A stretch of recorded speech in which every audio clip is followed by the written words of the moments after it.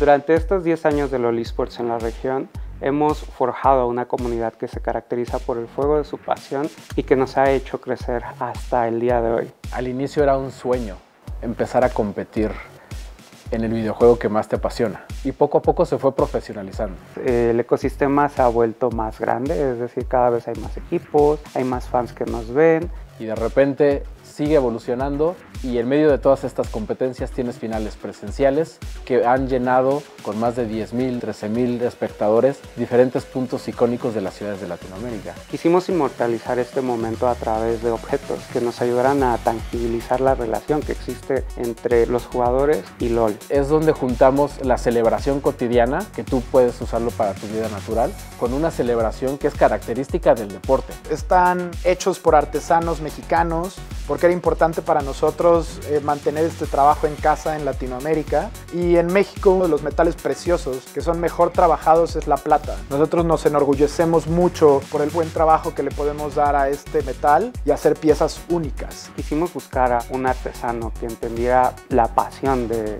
la gente. Es difícil extraerlo, picar la tierra, hallar un lugar, un yacimiento y te habla también de cómo nosotros no nos rendimos ante la dificultad, ante la adversidad. En la TAM yo creo que siempre estamos en survival mode y solo van a haber 10 jugadores que puedan tenerlo y 5 que se puedan coronar como el ganador.